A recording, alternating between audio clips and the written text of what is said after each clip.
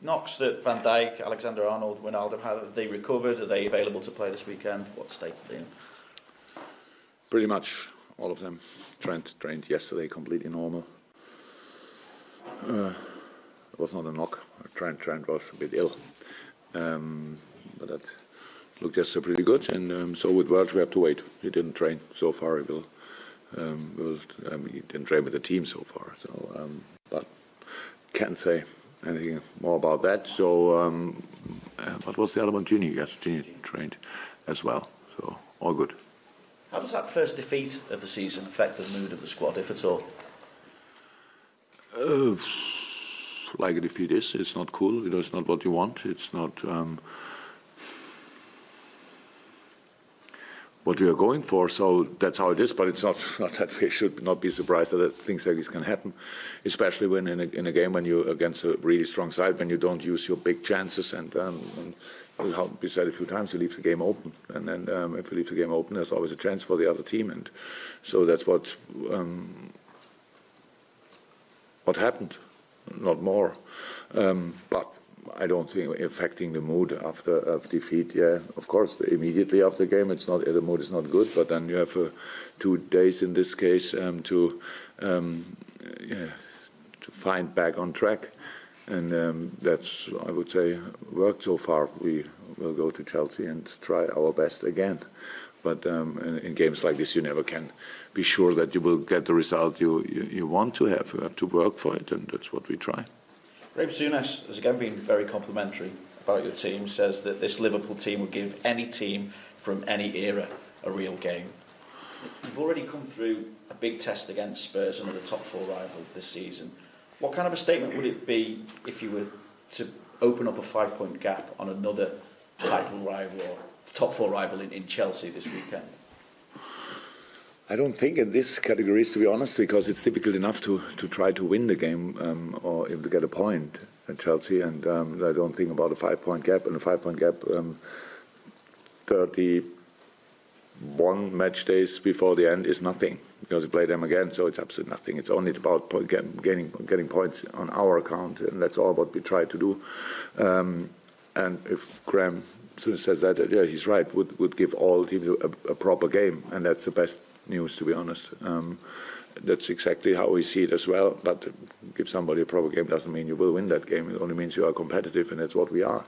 Um, that's what we have to show again. And um, I thought uh, the Chelsea game was just an unbelievably interesting game, to be honest, in the analyze as well. So we needed time to adapt. Yes, we had a new formation. Yes, and that's that's um, without the ball against the ball. If I mean defending, it's a bit more complicated than with the ball. If you and so it felt maybe a bit like Chelsea had. Um, and for us as well, it was not uncomfortable. And we think, okay, they pass there, pass there, and we were not ready. It was because of little, little, little, little details, but they are absolutely important. And for the boys, it was a big challenge because I know how people see it, and always, and you let them play after a long time. Five players, okay, Fabinho played a few minutes, but we have four and a half players um, with the first minutes of for sure the first start in the season, and um, and then we all think they need to be ready in that moment, use the chance, or you will never get another one. But that's not how it is. So it's it's only it was a really difficult task, and um, I was happy how we adapted in the game. To be honest, so with all the things they did at the end, they needed a uh, free kick. And maybe offside, maybe not, um, not important. And a world-class situation of Hazard. Um, and uh, to, to, to, win the game. So we had bigger chances and all that stuff. So that, that's good news.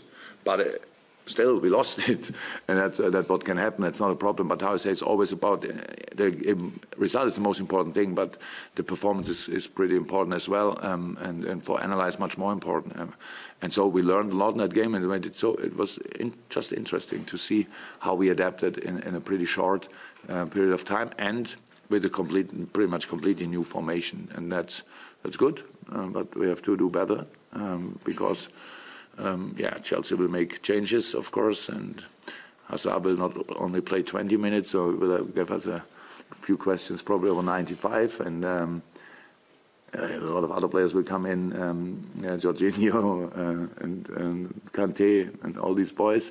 So it will be interesting again, and I'm looking forward to it.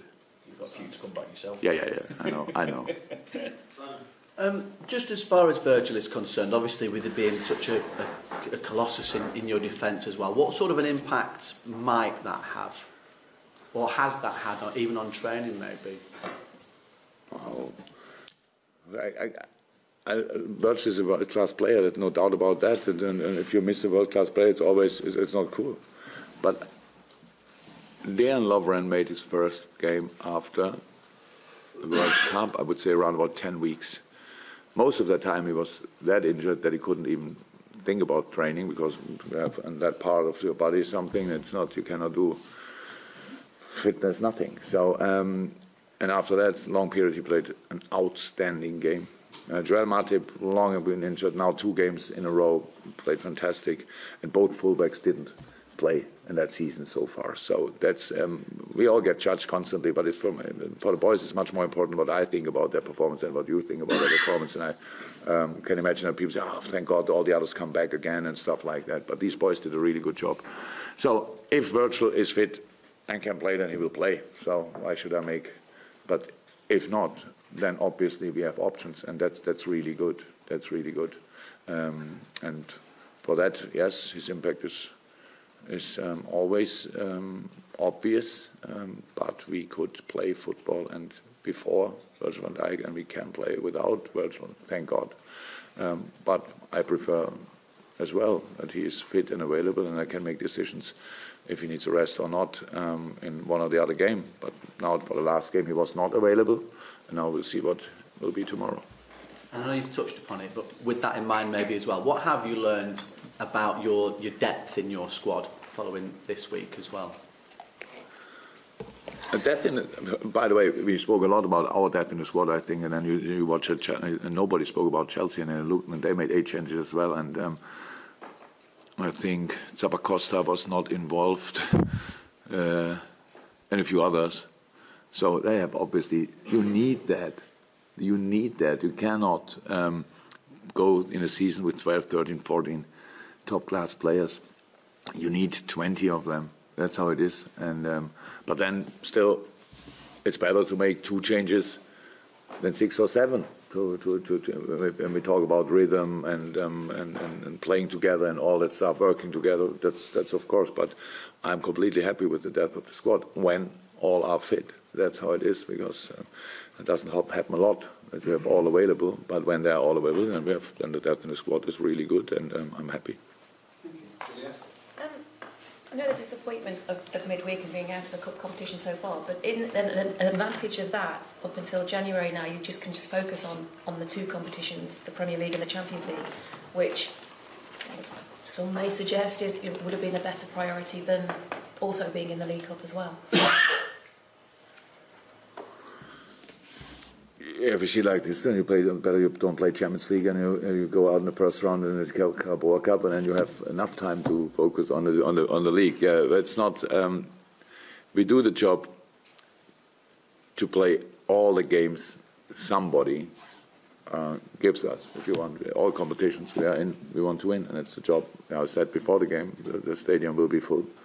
Um, so means we have to be at 100%. That's what we try to do. Um, I, I, in the moment, I don't see a lot of positive things, to be honest. When I think about losing a, a cup game, but um, I know that uh, if you go the next two rounds, I'm not sure, would not be the biggest um, problem um, match-wise in January. Yeah, if you then go in the semis, I think then around about then then it's getting yeah then it's getting a bit more busy and that's not not cool. But if you're that far, then you want to go for it, of course. So, but that's clear before you start a competition. And I I think um, before or when I came in, people expect more or less that in, in these kind of games you you you you line up all the kids. Uh, if one of us would have done that in the, the last game, and we didn't. I didn't speak to Sarri before the game and ask how, who you will line up, and I line up them. Then we have a proper game. So, but if we would have brought the kids, or I would have done that, that would have been a funny game. Uh, so that was um, that was a, a, a, real a real cup game, and both teams showed how important um, this cup is for them, and I, and I like that. So we lost. That's not cool, but that's all. So, with the changes that I guess you're going to make and Chelsea are going to make as well. Are you expecting a similar kind of well, a similar kind of game than you had in midweek? The, Yeah. Same one as midweek. At least, yeah, it will be tough. It will be intense for both sides. It's a big one. It's Chelsea versus Liverpool, so um, that's uh, that sounds already good. And then now we have to make sure that it is good. And um, yeah, that will not that, for both teams. It will not be an easy game. Both teams know that. But how I said, the best preparation for us for the Saturday game is the Wednesday game because you can never know more about an opponent than uh, in a match you play against them. And um, uh, of course, a few different players on the pitch um, for sure for Chelsea. And um, yeah, but we try to use our information from Wednesday to do it better. Jurgen, I'm sure it'll be a different starting lineup tomorrow, but, but given the fact that you've had a couple of days to, to reflect and work with the squad, um, can you sense uh, an added determination uh, in the players to, you know, to, to make sure that, that at Stamford Bridge it's, it's a different result? An added motivation, maybe? Yeah, for sure, but it's not that I go, um, to be 100% honest, that I come in on, on Thursday morning and, and, and then speak immediately how we, in which way we strike back and things like this. Are obvious we want to strike back. That's sports. You, you lose once, can happen. If you play them again, you try to correct that um, case. And um, that's what we try, of course. Um, but it's now, we have now, today is the, the only session we really have. And then we, we travel to because so far it was, of course, um, for the for the team who played was completely only yesterday was recovery. The good was with the other with the other boys we could we had, we had a proper session, a good session, um, and um, now today is a very important one to yeah to to use the things we've learned in a training session about about the opponent, and then let's go and and try again, and um, hopefully they all um, are fit, and then we have uh, we have uh, we have done really proper quality, and it, um, that makes it that makes it so interesting. Yes, but striking back is a is a, a, real is a duty in sports. That's why what's a big part of what I love. Uh, you can you always in a season you play always twice, so you, it's quite difficult to play in June or let me say in um, August, and then next time in in uh, in May, and you just tell your players, oh, they, we lost against them. That's quite difficult. But in three days, it's possible, and then so let's try. Xherdan Shaqiri's played, uh, started the last two matches. Uh, how would you assess his progress since he's come in and and sort of getting to, to you know to, to play the Liverpool way and the, the, the way that, that you want and what you want from him? Oh, very good, very very good. Um, it's when he came in, that's what I wanted from him. That he really plays only free, completely. Don't think about anything. Play football. It's, I don't want to bother him and, and, and fill him up with informations about the way we play, the way he has to defend, the way he has to run. I wanted to see how he how he adapts, and that was that was brilliant in the preseason. You saw that. Um, but of course, for for the long term, you need you need to get used to all these different things more and more, and he makes big steps in that. But of course, it, it, it that's how, and that's again, again, like it always was. Uh, when you use these informations, then you lose a little bit from the natural skills for a few days, weeks, whatever, um, because you think now a little bit more on the pitch, as you should actually, because it's um, football. I said a few times should be more instinct than really um, thinking too much. So you have to do it that often that you don't have to think about it anymore. And that's where he is in the moment. But I'm completely happy. It's, a fantastic impact and a really good player and good boy.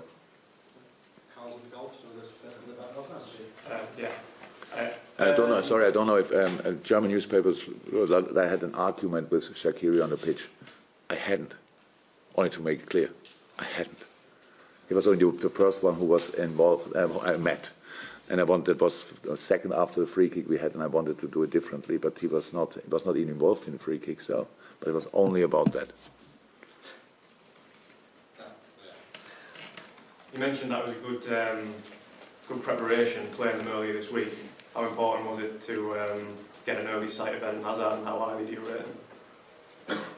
To get an early what? Like an, an early sight of what Eden, Eden Hazard can do. Obviously, you, you know what he can do, but obviously he did specifically in, in midweek. How, how important was it to, see what he can do? A few years ago, a couple of years ago, I think we played Chelsea. Yeah, Chelsea when uh, um, Diego Costa and, and, and I mean, they played obviously in a different system. The two strikers were then Costa and uh, and Eden Hazard, kind of very offensive players. And I know exactly how good he is. that night it felt like, wow, okay, we can defend all of them, but not not him. Um, yeah, Eden is a special player, obviously, and, and, he, and he enjoys these one-one situations or one versus two or three situations. He enjoys that. So that's good. That's not. I, I didn't need that game to know about Eden, uh, though that um, was already clear before. Obviously, it's the start of um, like a particularly critical week. Do you think like it'll have um, a critical impact on the end of the season? Since, uh, since the last international break, we, we, we, we knew that we face all these teams, and we, we, the boys did so far. We played Tottenham, PSG, Southampton, Chelsea. So it's we are halfway through, and so far we, we, we, did we did really well. So we did really well, performance-wise, very well, result-wise, very well. Um, last one is now that's how, how, it is always. Obviously, feels like it's the biggest impact, but I don't think so. Um, and before we started that, it was clear that a game against Chelsea at Chelsea will not be. Yeah children's birthday or whatever. That's that's pretty intense. And then you go to, then you go to. Um, to Naples, uh, which is a tough place to go, and then Man City is coming. But we, we all know how these games were. Maybe we won them last year, but it was um, always nearly over the top what we had to what we had to do. So that's that's how it is. Um, that's an interesting month, uh, to be honest. So, but uh, so far so good, and uh, boys are fully in it and are, are, ready to go. And then we have to see what we will. But the impact of for the season, all games have impact for the season as much. It's all that we don't know that in a moment, but um, we wanted, we are quite positive.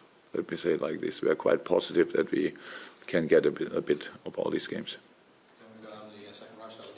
You spoke about learning lessons from Wednesday's game and also about knowing how good Eden Hazard is, is, is one of the things that you talk to your players about is, is ways that you would go differently about about maybe re reducing his impact and is that really stopping passes to him or more sort of having a player almost really tight to him at, at all times?